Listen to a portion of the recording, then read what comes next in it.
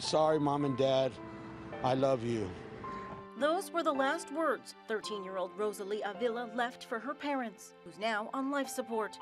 My whole world just just came crumbling down, you know, not understanding, you know, why. And The teenager from California attempted to take her own life.